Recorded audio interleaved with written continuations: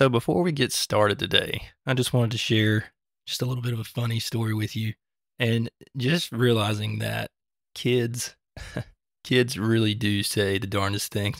Like, I know that used to be a TV show, but in case you're just now catching a podcast for the first time, uh, me and my wife Rebecca have a almost three year old daughter, and we live in a small country town. Like we literally have uh, a stoplight. Excuse me, not even a stoplight, a caution light with a stop sign, a gas station, a grill, a Dollar General, and they just recently threw one of the uh, Family Dollar Dollar Tree combos up right across the street from Dollar General. So yeah, I mean, just a small little farm town, pretty much is what it is.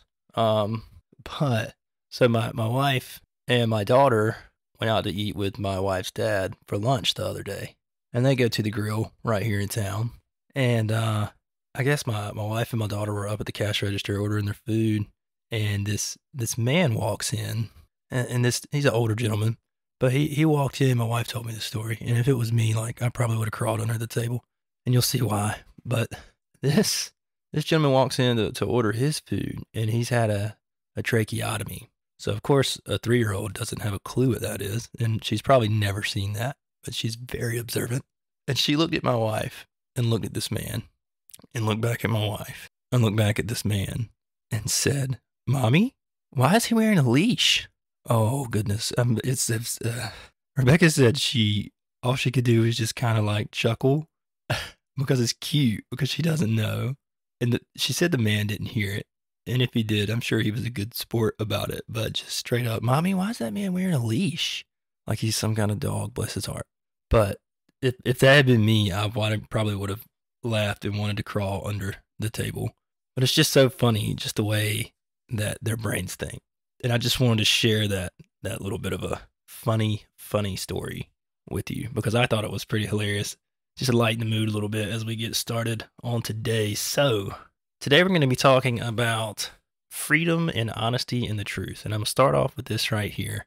And then from there, we're going to move on. But I want to start off with just some verses out of the Bible about truth and honesty. So Proverbs 12:19 says, "Truthful words stand the test of time, but lies are soon exposed." Proverbs 11:3 tells us that good people are guided by their honesty Treacherous people are destroyed by their dishonesty. Philippians chapter 4 verse 8 says, "And now, dear brothers and sisters, one final thing. Fix your thoughts on what is true, honorable, right, pure, lovely, and admirable. Think about things that are excellent and worthy of praise." And then the last one that I'm going to share is John chapter 8 verse 32.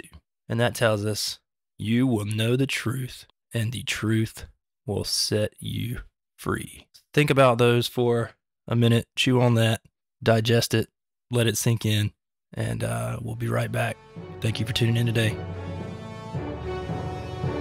Get ready for an epic journey into the heart of manhood with Manhood Unveiled. Join Zeth Lee as he guides you through the gripping tales of fatherhood, the resilient bonds of marriage, the roads of vulnerability and overcoming temptation. Brace yourself for an odyssey of growth, connection, unwavering spirit, and faith. This is not just a podcast. This is Manhood Unveiled, where the story of manhood unfolds like never before. Hello again, and welcome back to another episode. Matter of fact, episode three of Manhood Unveiled. My name is Zeth Lee, and I am your guide on this journey through the intricate paths of manhood. And today's episode is going to be a liberating exploration into the power of honesty and truth. You know, in a world that often encourages masks and pretenses, there's an undeniable freedom that comes with embracing our true selves. And today we're going to be delving deep into the profound impact that honesty and truth can have on our lives, our relationships, and most importantly, on our own sense of self. And whether it's the, the honesty that we share with our loved ones, or the truth we confront within ourselves, or even the authenticity that we, we bring to our daily lives, There's always this transformative power that lies in being genuine. And it's about unburdening ourselves from the weight of these false pretenses and stepping into the liberating light of the truth. So, throughout this episode, we're going to discuss the, the impact of transparent communication on relationships, and we're going to explore the personal growth that comes from facing our own truths. So, this is not just about telling the truth to others, but really and truly, yeah, I mean, that's very important. But in order to do that, we got to start being honest with ourselves. And it's about understanding that in the tapestry of manhood, the threads of truth are going to weave a story of strength, resilience, and authenticity. That's a hard word to say. Authenticity. There we go. English is hard. So, my friends, let's buckle up for this soul stirring conversation on Manhood Unveiled. Let's explore the freedom that comes with honesty and truth. Thank you for joining me on this quest for authenticity. Ha, I got it right that time. And let's dive right into the heart of today's episode. But before we get started, just like I did in episode two, and I, I would like to make this a normal thing, let's just start with a prayer. So we're, we're gonna we're gonna start off, we're gonna open up in prayer here, and then we're gonna jump right into lying, honesty, and the truth. Father, we come to you today. And once again, we just want to thank you for this opportunity. I would like to thank you for this opportunity to learn and to inform and to share my story and my struggles and the struggles that you have helped me get through and that you help me get through every single day. And Father, I just ask that that you anoint me, Father, from from the top of my head to the bottom of my feet, and that it's not my words but your words coming out through me, God. And, and I just ask that anybody and everybody hears this story and hears this message that needs to hear it and that anybody and everybody can can get something out of this story and out of this message god that they can that they can put into use in their own life and that they can see what you're trying to do in their life and what you want to do for them in their life and all they have to do is turn to you god god we ask for your anointing today and we thank you for the opportunity to let us all come together and learn love and laugh we ask these things in Jesus' name. And all God's people said, Amen and Amen. All right, so let's jump right into it here. So what is what is lying? And we all know what lying is, right? Lying is not telling the truth. Well, let's give the exact definition here. A lie is defined as an intentionally false statement. Intentionally false. You know that it's not true. So what is honesty? Well, honesty is the act of being honest. Duh. That's, I could have told you that, right? But if you look up the definition of honesty, that's what it says. So let's let's break down what honest. What is what is honest defined as? And honest is defined as free from deceit and untruthfulness or sincere. And then the definition of truth is being in accordance with fact or reality. So now let's kind of combine all three of these things. So when we lie, we are failing to be honest and true. So when we lie, we are intentionally being untruthful and deceiving. That's deep. We are deceiving. We are going against fact or reality or both of them. Why do we do it? Why do we lie? Why do we lie? Why have I lied so much? Right? But why do we lie? And we lie for various reasons. Motivations for dishonesty can be complex and multifaceted, really. But let's I got a little list here. So let's let's expose some of the most common reasons to lie. So, reason could be avoidance of consequences and conflict. You know, people may lie to avoid facing negative consequences, punishment, criticism. That's huge, right? Like I've I've lied because of that. These could be in personal relationships at work or even in other aspects of your life. But I've I've done that. I'm guilty of that. I, I can't tell you how many times I've lied. Well, as a kid, especially, right? As a kid, I would lie to avoid facing consequences and punishment. And then as an adult, you kind of do the same thing, but then criticism becomes a big thing because nobody likes criticism. So you try to get away from that. And then even just conflict altogether. Like if my wife asked me a question about something small, but I knew she wouldn't like it or it would aggravate her, I would sometimes have the tendency to tell a little white lie to avoid that conflict. And that's not fair. That's not right. Here's another one. We lie to maintain an image. And this might be to create a more favorable impression or to maintain that image. Could be driven by a desire for social acceptance, approval, or self esteem. Uh, you know, and, and I think this, uh, you can thank social media for this right here. And I'm, I'm not on any social media other than these podcasting platforms and me watching YouTube. That's the only social media I have. And I used to have Facebook and Instagram. And I can say that one of the best things I've ever done is get rid of those. But you know, on social media, people post what they want other people to see. All the good aspects of their life, all the things that they're proud of. They put on this this mask so that nobody knows what they could be struggling with or what they really have going on. I can tell you when I was cheating on my wife and being unfaithful, I would make these wonderful social media posts, making myself out to be the, the best husband. When my wife wasn't happy in her in our marriage, you know, she would make these fake social media posts, making it out like our little family was the best little family in the world and we didn't have anything wrong when really we did. Maintaining that image, trying to portray ourselves to be something that we aren't. Another reason that people lie protection of others. And I think this is this is where people start to like justify lying sometimes. Because you know, sometimes people lie with the intention of protecting others from harm or shielding them from uncomfortable truths. And while it may be easy to justify that, it's it's not always okay. Most of the time, actually, a lie is not okay. And I've had to learn this because I definitely did that.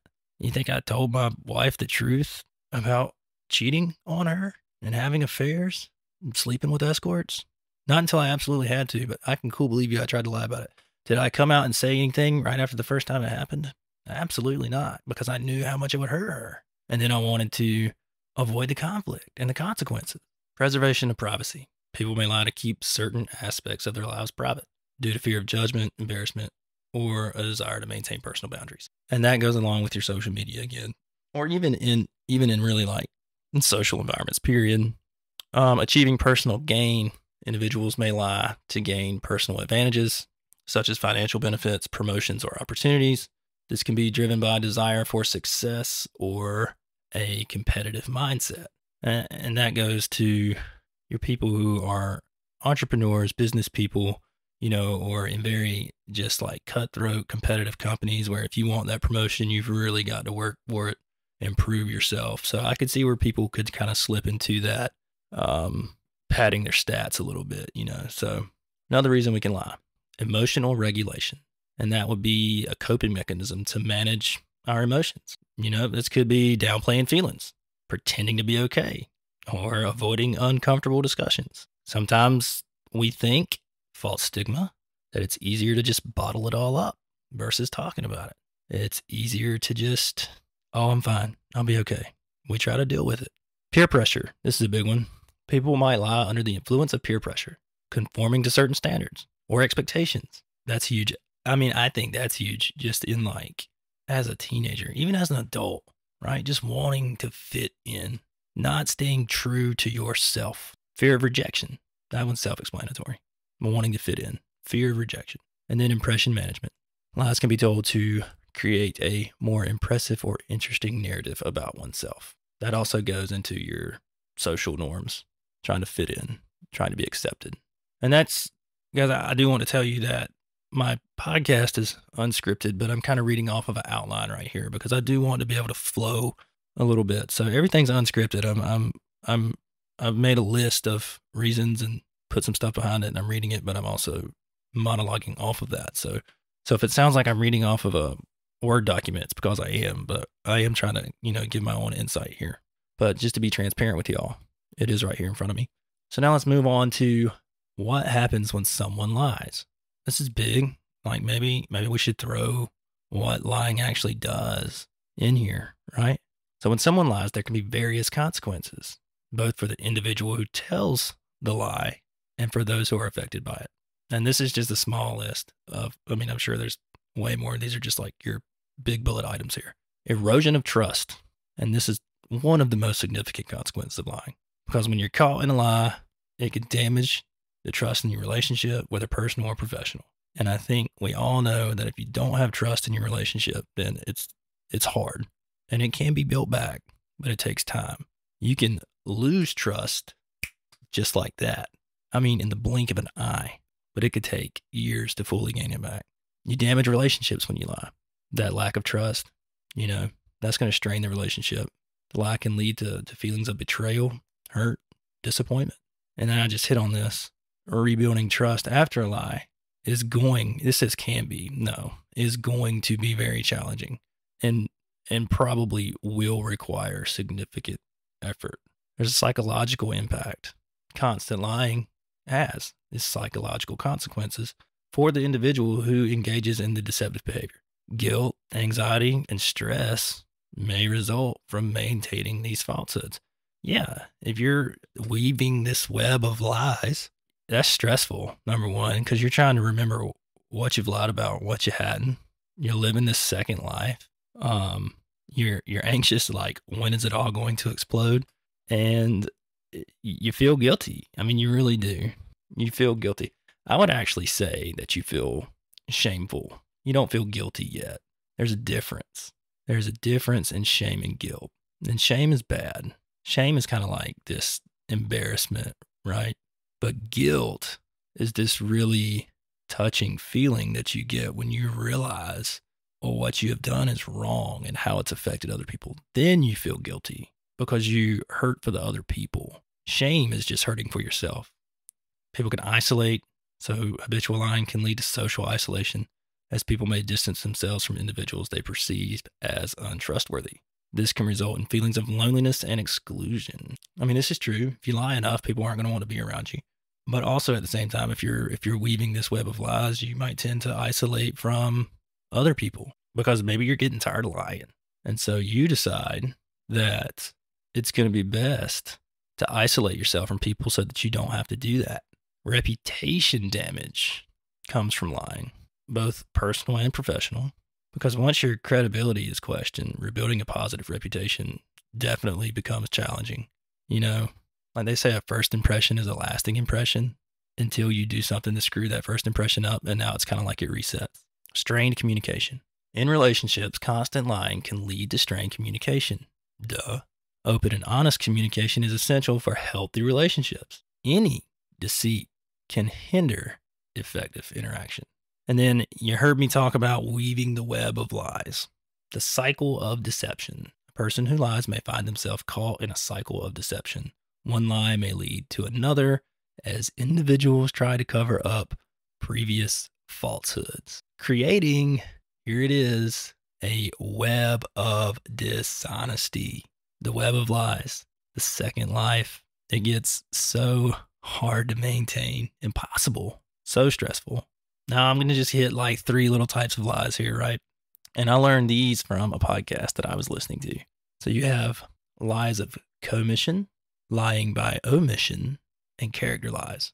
So a lie of commission is like just straight up telling a lie, saying or telling something that is completely false right? And then you're lying by omission, um, not telling the whole truth, leaving something out or omitting it. So, like, yeah, I went to the bar, but you know, there weren't any girls there. I just hung out with a couple guys. When really and truly, there were some girls there. Whatever. You leave something out. And then character lies. Um, I'm like to call. I had to kind of the definition I found on this. I kind of had to modify it a little bit, but I'm gonna go to this as deflecting, right? Often responding with a statement to make you seem like an amazing person that you would never do anything like that. You cannot believe you're being questioned in the first place. Also known as gaslighting. For instance, are you cheating on me? What do you mean? We've been married for five years. How, how can you how can you ask that? I've done nothing but love you. How would you even accuse me of cheating on you? I can't believe that. Gaslighting, deflecting. So we're going to keep all those in mind. And now I'm going to tell you my story on lying. And you got some of this, you got a lot of this. But I'd like to say it all started out like I had, I'm not going to say I had helicopter parents by any means. Um, I had loving parents, but my parents were strict. Well, my mom was pretty strict. And I started lying about small things to hopefully not get in trouble with my mom. It never learned that I would get caught in the lie and it would be worse. And that happened quite often. And then as I got away with lies, it just started building that, that, you know, falsehood that it's okay, that false insecurity that it's okay. And you get it. You get this insecure or this security in lies because you don't face the consequences. So you get this false security and then you just keep doing it and doing it and doing it and doing it. And they just keep getting bigger and bigger and bigger and bigger. And, and I would end up, you know, in, in my relationship, I lied about talking and being in relationships with other women, emotional relationships, sexual relationships, uh, sleeping with escorts, erotic massage. I lied about watching porn. I lied about things I didn't even lie about. Like they didn't need lying about. I, I can remember, and not even in my relationship with my wife, but just talking to other people, I would lie about things that didn't even matter. And I was just weaving this intricate web of lies. And there were so many. There were so many lies. And honestly, I don't know how I did it for so long. I don't know how I carried on with it for so long because it was exhausting and so stressful trying to to maintain that and carry that out like it was awful. Yeah, now y'all got to think. I'm I'm almost 33. I'll be 33 on the 21st of this month. And I started lying as a kid. I mean, ever since you could, well, what are we going to call it? Maybe, let's just say like 10 years old. It's over 23 years. I've been lying and lying and lying. And then me and my wife started dating in 2000 and it's 2010 or 11. I think it was 11. So yeah. And I lied to her all throughout that. And then we've been married for almost six years. And, and, I, and I just started being honest with her, right? Or trying to be honest with her because I've slipped up and lied about some things even after my involvement in the program. And, and now granted, we'll get into that in just a little bit, but I have slipped up and still told lies. Like I hadn't just been a completely honest person, no matter how hard I've tried to be and wanted to be. And I just shattered her reality, right? Like when the truth finally came out, my wife did not know up from down, left from right. Her reality was shattered. Everything she had ever known to be true was no longer true, or she didn't know if it was true. And I'm just trying to put myself in her shoes, and that's got to be hard, impossible. Like, I don't know how. My hat's off to my wife because she is also having to put a lot of effort into our marriage now. It's not just me.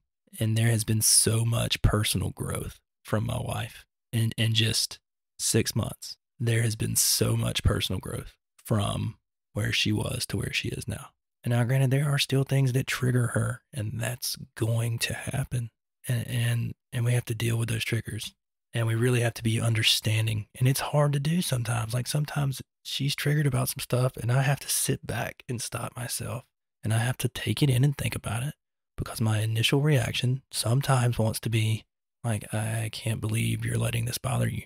But that's where the shattered reality comes into place. She can't help that it triggers her. She sees old behavior of mine, which brings up old me and scares her. And so she gets triggered. She can't help that it triggers her. That's natural. She's looking for safety. She's looking for reassurance. And we've had this conversation. She's had to tell me that so many times because I have reacted in the wrong way. And then just uh, breaking off from that, just a, a little short story about this. I just confronted my mom and dad the other day about lying to me about some health stuff they had going on. They didn't want to tell me because they didn't have all the answers yet. And my sister actually came over here one evening and ate dinner with us and she told me some things and I was just completely caught off guard. I didn't have a clue. And so, of course, I called my parents and confronted them. And I said, Hey, I, you're my mom and dad. You know, I love y'all. I want to know what's going on with y'all. And there's no need to lie to me about it.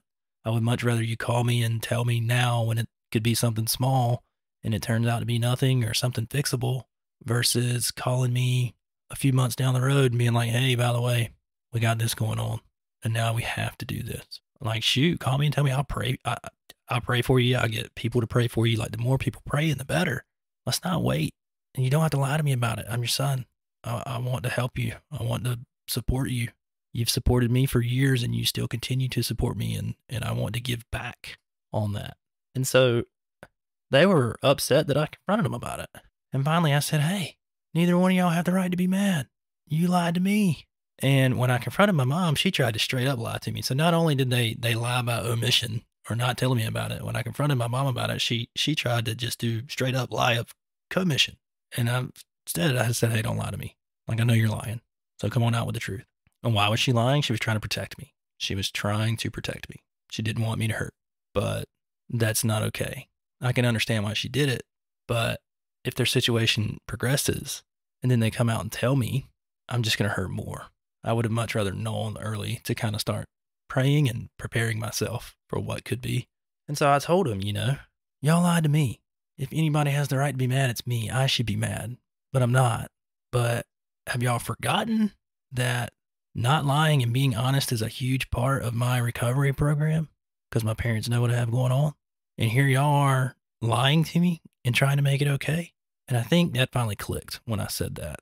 So, what is that immediate feeling that we get when we lie, when we feel accomplished? Doesn't that sound terrible? Like now that we're sitting here thinking about it, we feel accomplished. We feel accomplished because we deceived somebody and we don't have to face the consequences, or we made ourselves look better, or we conform to all these social norms. and that accomplishment is real crooked, right? Now we're thinking about it and we're like, ooh, that's bad. Like, I should not feel accomplished for that. And you shouldn't. You shouldn't, but we do. But what do we really gain? Like, really and truly, what do we really gain? I mean, if we gain what we were trying to out of lying, well, you got it, but you didn't get it based off the truth. So, do you really, did you really earn it? Or did you really gain anything? No, you, you, you gain nothing. You gain nothing from, from lying, right? long term, there, there's no good consequences to it. And the consequences in the short term might seem good, but they're not. They're they're not. It's it. I can promise you, be a man, own your stuff, and face up to it. And if you do something wrong, prepare to take the consequences. If it's going to hurt somebody, well, you probably shouldn't have done it.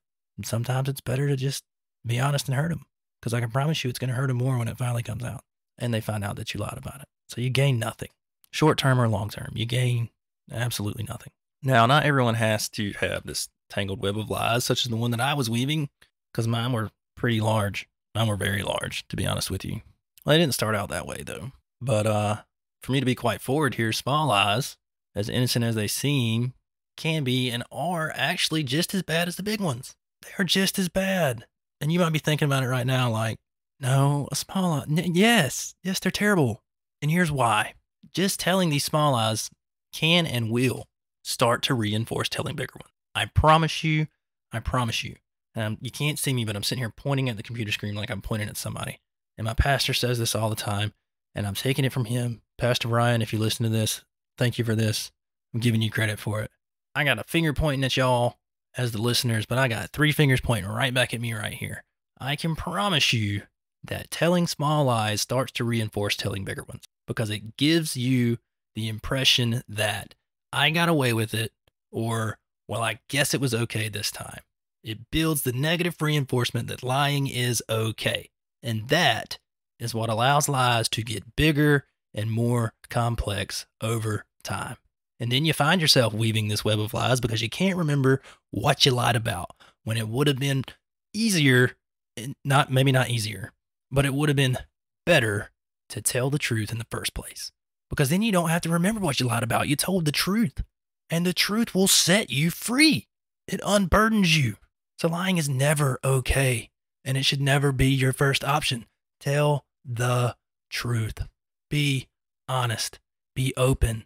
Be transparent. Because lying is a terrible characteristic for a man to have. And I promise you, I promise you that so many of us have it. Once again, pointing all fingers at myself here. It's something I've done my entire life. It's something I still struggle with. I'm trying to overcome it to this day. I'm not perfect. I, don't come to you with this podcast pretending to be perfect. I'm far from perfect, my friends, and I will never be perfect. One perfect person walked this earth, and that was Jesus Christ, and we will never be him. But we can go to heaven because of him. But even even to this day, and there have been times, like I told you, times where I've slipped up. Like I really do try to be to be honest about everything, honest and transparent, open about everything not only with my wife, but with other people. Now, granted, there are things that you don't tell other people. And that's mainly about like your personal stuff because you don't put your personal stuff out there for just everybody. But for people who are close to you, yeah, you got to be honest with them, guys. But I, I still catch myself wanting to lie. It's a conscious effort that I have to make to tell the truth sometimes. And I've caught myself in the middle of lies. In the middle of the lie, I catch myself. And then I'm just like, dude, come on. What are you doing? Like we've talked about this, man. Like if I could look in the mirror, I'm sitting here having this conversation with myself. You've you've talked about this. We've talked about this. What are you doing? You're lying. Why are you lying about this? Like it's stupid. You shouldn't even be lying about it. Just tell the truth. So then I have to stop in the middle of my lie and be like, you know what? I'm lying. This is the truth. Well, now I've already started the lie, so it's kind of like, well, is that really the truth? You see what it does? If I'd have just told the truth when I got confronted to begin with, then it'd have been a whole lot easier to believe because I was lying about something to not get in trouble and to not face the consequences. But if I'd have just told the truth, then my wife would have seen, all right, he's telling the truth. He's coming out telling me this, knowing I'm not liking it. But then once I started lying and caught myself, and then I come out and said, you know what, I'm lying. Here's the truth. And now it's like, well, is that really the truth? Or what else are you leaving out? So it gets it gets harder to recover. It, it's it's much easier to recover if you just tell the truth in the first place. And I say all of that to say this right here. Lying and dishonesty are equal to darkness. They will put you in a dark, dark, dark place. When you start weaving this intricate web of lies, and if you've been there, you know exactly what I'm talking about. And if you're there right now, then you probably feel exactly what I'm talking about. Well, the only way to drive out darkness is to bring in light, right? If you walk in a room that's dark, what do you do? You flip the light switch, click, light comes on, not dark anymore. Honesty and truth, that's your light. That's your light switch. Just be honest. It's that simple. And you know, I'm guilty of it. Act like honesty is such a hard thing. And for some, it may be, myself included. It is, it can be hard, especially when you've habitually lied about things for so long. But at the end of the day, we got to just be honest, got to be open, got to be transparent. That's it. It's that simple. Y'all might be sitting here like, bro, it's not that simple. It really is that simple. Now, it takes some some character changes and it takes it takes a lot on your part to really be conscious of what are you about what are you thinking about what are you about to say? I mean you really got to kind of filter this right? Because most of the time especially i know for me being a habitual liar i could lie like right off the top of the dome. Bam i didn't have to think about it very much. I could i could fabricate a lie quick. It was like improvising. I can tell you if i could have put my this is terrible to say, but if I could put what I, if I could put forward into what I, and let's see, how do I want to say this? What I put into lying and fabricating lies, if I could have put that effort into like anything else, there's no telling what I could have done with my life. There's no telling. But you got to be conscious of what you're thinking and about to say. Catch the lie. The devil, catch it. Catch him. Because the lie comes from the devil, friends. I'm telling you. Even a little lie is a big foothold for the devil. And once you let the devil in, he's in. And he just starts picking at you.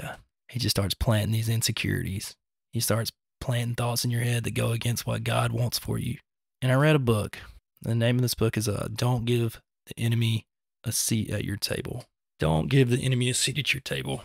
I just went and got it. I didn't have it back here at my desk, but I just went and got it so that I can uh, tell you who it's by. And uh, I could have looked it up on Google, but so I can tell you who it's by and just give you give you a little preface to this book here. So, Don't Give the Enemy a Seat at Your Table by Louie Giglio. I think that's how you say his last name. I might have butchered that. Great book. It says it's time to win the battle of your mind. It says be grateful for the storms in life. They reveal who your true friends are. To the friend who sent the text that has become the title of this book, thank you for allowing God to use you to change my life. And I'm gonna say, reading this book right here changed mine and it's it's it's a relatively short book. It's not it's not very long. Um, my mom gave it to me. It's uh like 200 pages long. It's relatively short. And Tim Tebow, professional athlete, has got a review that's published in the book here. There's a bunch of other ones published, but Tim Tebow. I'm confident that don't give the enemy a seat at your table will not only clarify your faith, but strengthen it. Jesus has already won the greatest victory. Now it's our turn to fight, to think rightly, and fix our eyes on our good shepherd. And I'm just going to leave that at that. Um, but it talks about lying and being honest in this book. It talks about a lot of things in this book, but it talks about lying and being honest. So I highly recommend that you look that up. And I will try to remember to put a link of it, a link to it maybe on Amazon in the description of this episode. So just that, just that little lie is a big foothold for the devil. And when you let the devil in, then he just starts going against everything. The devil is your enemy. We don't give the enemy a seat at our table. In fact, the only person that has a seat at our table is God, our Father. And it goes into great detail explaining it in that book. Highly, highly recommend. Very, very good book. Now, I'm about to hit y'all with something big right here. Ready for it? Rigorous honesty. Rigorous honesty. What's that? It sounds hard. It's because it is. It is hard. Rigorous honesty is being honest no matter what. No matter what. You know something's going to hurt somebody? Tell the truth.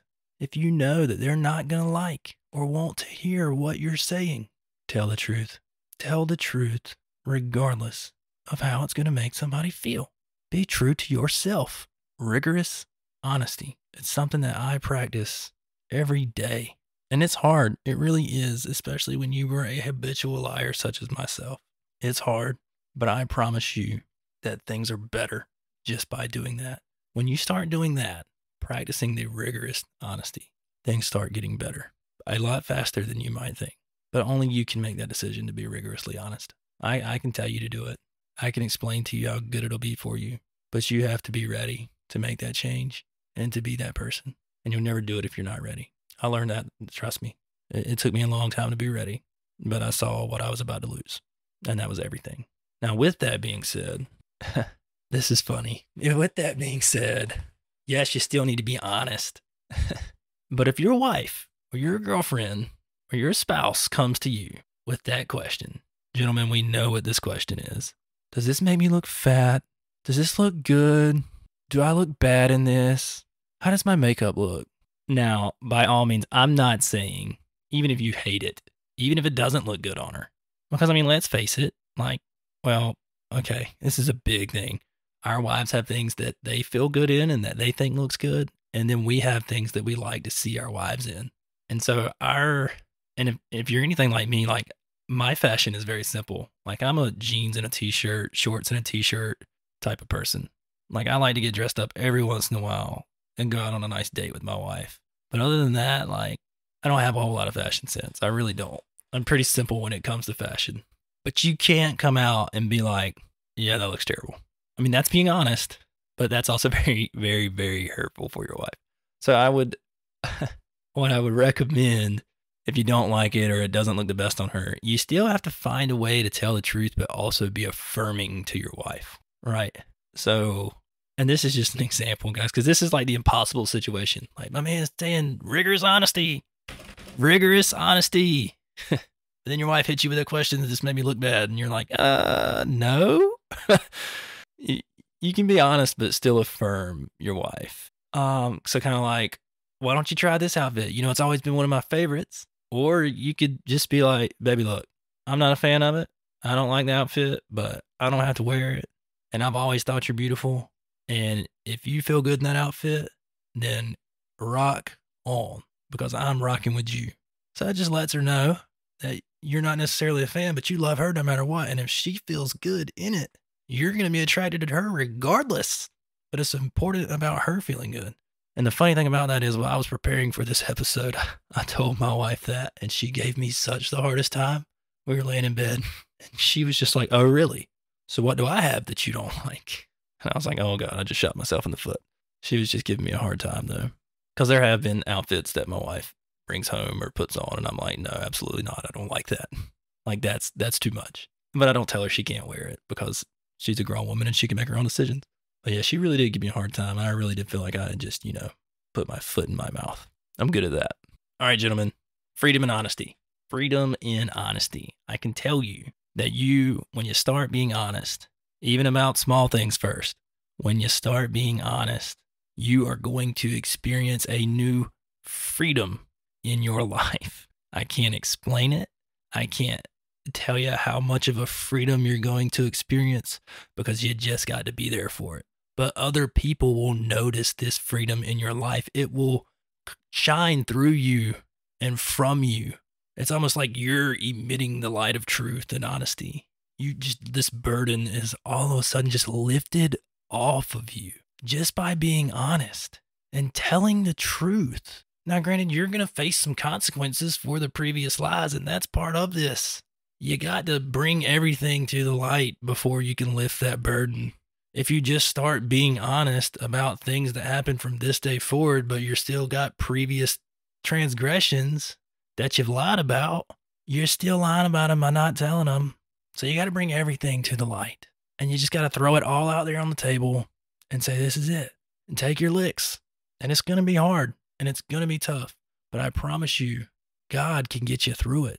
God can get you through anything. He puts us, He does not put us. God allows us to go through these tough situations, not to punish us or for judgment, because the Bible says that God's not going to let us go through anything more than we can handle. But if we feel that we are being burdened, He will always give us a way out. It explains that in the book, too. I'm telling you, you got to read the book. But the way out is Him. God allows us to go through these tough situations so that we turn to Him and rely on Him, and so that we realize that we need Him to help get us through it. We put our faith in God, and I can't tell you, I can't tell you the the load that just gets lifted off of you, the burdens that just disappear when you let go and let God handle it, and you give it all to Him. You, I felt like a new man. I really did. I felt like a new man. I don't know if any of y'all listen to Christian music, but I came across this song yesterday, matter of fact, on YouTube. Um, I was laying in the bed before we put our little girl down for bed. Me and my wife and my little girl were laying in the bed there, and uh, we were playing some music on YouTube. And it's not a relatively new song, but now, granted, I'm also new to the Christian music. So, but if you haven't heard it, I recommend you listen to it. But if you really want to get the full message of the song, I highly recommend you watch the YouTube video of it. And I will put a link to that in the description as well. But the song is by Micah Tyler, and the name of it is Walking Free. And in the description, it's got a verse, and it's a wonderful verse. It's John 8 36. So if the Son sets you free, you will be free indeed. Man, what what a lovely verse. I'm telling you, it's a great song. I was watching it and it gave me chills. So to close this out today, I want you to to be the man that God has called you to be and that God wants you to be. And that sounds hard, but it's really not when you pray and talk to the Lord and listen for the Lord, put your faith in Him, put Him in the center of your life, put Him first. It's not hard to do. God knows we're not perfect. God knows we're going to make mistakes. That's why Jesus died on the cross. Jesus took on the sin of the whole world. A perfect man took on all of our sin, picked up his cross, and and died on it for us. He burdened our sin, and he was laid in a borrowed tomb where he rose three days later. So he defeated death in the grave. He defeated sin. He died for sin. He defeated sin. He rose again. And then he walked the earth and went back up to heaven to be with the Father. And he will return. The Bible says he is going to return in the same way that they saw him go. And my friends, that's going to be a glorious, glorious day. So be the man God has called you to be and wants you to be. And it's not that hard to do. You just got to trust in him. Put your faith in him. Put him first in your life. Talk to him. Have a relationship with God. Get in your Bible. Read some scripture. And if you don't know where to start doing that, you can download the Holy Bible app for your phone, iPad, tablet, whatever. And there's plenty of reading plans up there, daily reading plans. Good stuff. I appreciate you coming in and checking out episode three of Manhood Unveiled. I'm going to get those links in the description for you. So check that out. Stay strong. I love you. Thank you so much for listening. Of course, it means a lot to me because I'm hoping this develops into a community for men, by men, If you like the episode and you like the podcast, please feel free to subscribe and get notifications for when I do upload a new episode. And always feel free to drop a comment, um, you know, and I'll try to respond to it. But until next time, stay strong and we'll see you then.